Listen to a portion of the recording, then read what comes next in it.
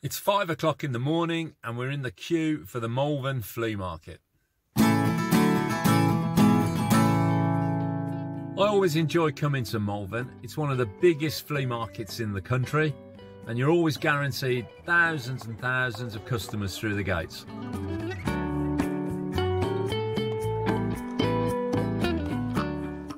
There's always a sense of nervous energy on the day of a market, especially when you're queuing up to go in. You may have spent the week sourcing stock or searching through your death pile and your storage to find the right kind of stock to take to that particular type of market because you do have to judge the type of customers that are going to walk through the gates in relation to the type of stock you take. It's no good taking high end antiques to a flea market and equally it's no good taking flea market stock to a high-end antiques fair. So you're basically wondering what the day ahead holds in store for you. There are some dealers that have an air of excitement about the day, and there are other dealers who are apprehensive about the day ahead.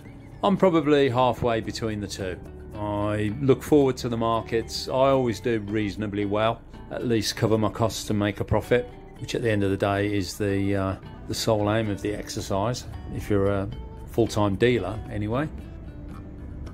So, yeah, it's uh, I, I, really look forward to the, the markets, and particularly Malvern. As I said earlier, it's it's one of the biggest in the country.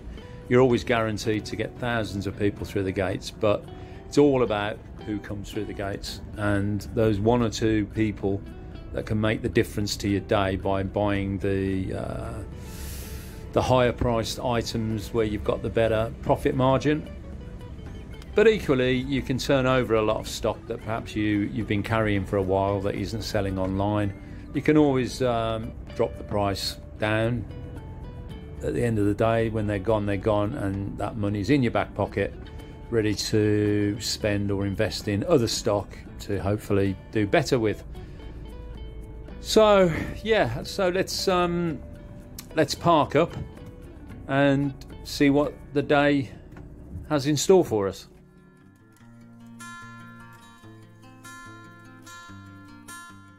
It was about seven o'clock before they let us in, so by eight o'clock we'd set up. Um, fairly standard layout, two six foot tables. Good to uh, always put higher items at either end just to frame it couple of three tarps on the floor for the larger items. Nice pair of yellow Italian designer chairs. Peaky Blinder original painting.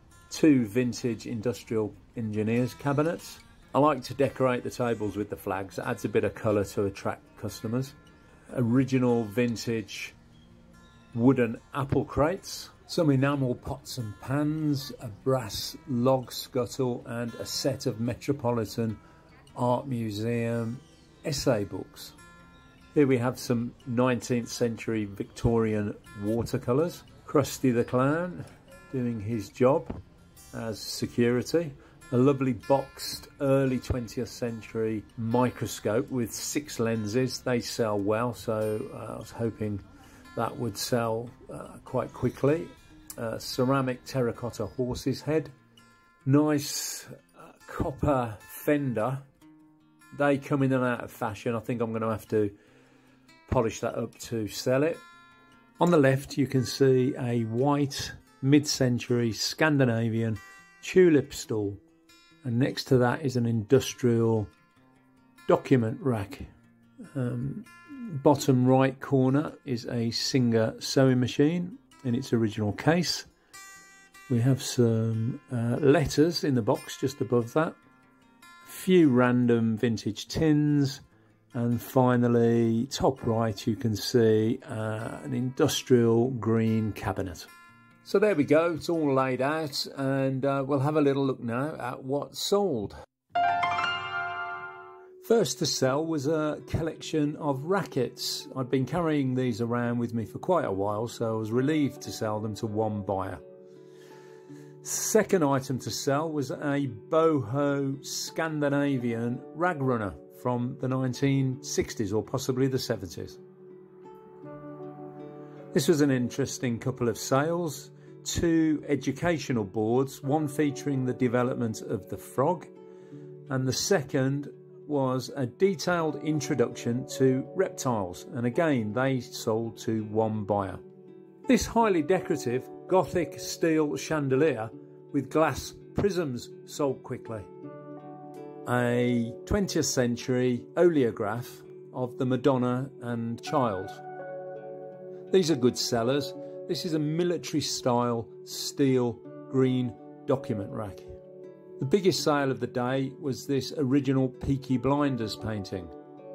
This went to a buyer in Halesowen, so staying fairly local to Birmingham.